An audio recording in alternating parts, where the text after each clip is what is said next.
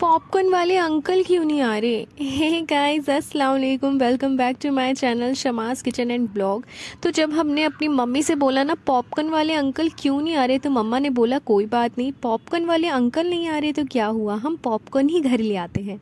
तो हम गए जल्दी से मार्केट और वहाँ से लेकर आए कॉर्न और फिर उसके बाद मम्मी लग गई हैं पॉपकॉर्न बनाने।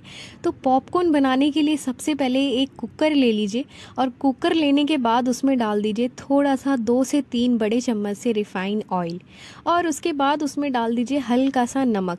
नमक का ध्यान रखिएगा, नमक ज़्यादा नहीं होना चाहिए। ज़्यादा हो जाएगा ना, फिर मज़ा नहीं आता है यार। खाने में नमक तेज़ नहीं होना चाहिए। कम हो जाए, चलेगा, बाद में डाल देंगे। तो नमक डालने के बाद इसे हल्का सा चला दीजिए ताकि नमक है ना, तेल के साथ घुल मिल जाए, थोड़ी दोस्ती शोस्ती हो जाए उन लोगों की। फिर उसके बाद देख लीजिए, जब हमारा तेल है ना, बहुत अच्छे से गर्म हो जाए, उसके बाद इसमें डाल दीजिए कॉर्न। कॉर्न डालने के बाद इन्हें अच्छे से मिक्स कर लीजिए। मिक्स करने के बाद क्या करना है? ढक्कन लगा दीजिए, बस भैया। फिर उसके बाद एक बार और इसे चला दीजिए ताकि जो नीचे से ना चले, जले नहीं, चिपके नहीं और अच्छे से इनमें तेल, नमक सारा अच्छे से हो जाए। और इन्हें ढक दीजिए।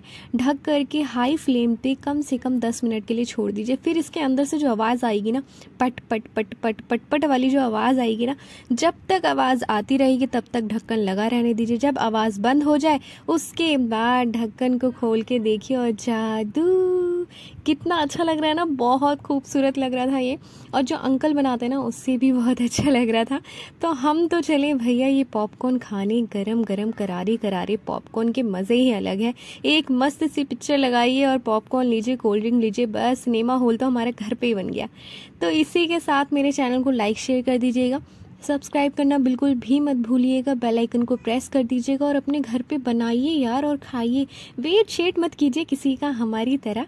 फटाफट से बनाइए और खाइए। तो आज की वीडियो में बस इतना ही। टेक केयर अल्लाह हाफिज़।